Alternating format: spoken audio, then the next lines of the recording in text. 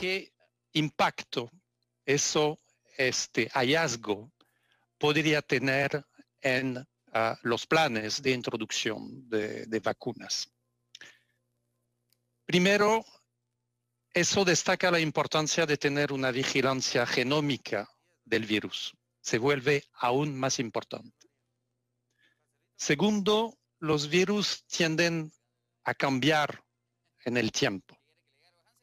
Y una vacuna puede perfectamente dar inmunidad para una parte del virus que no cambia.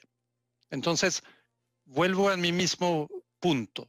La vigilancia genómica de los virus circulantes es un punto clave para informar y acompañar la introducción de la vacuna y de las vacunas en este momento.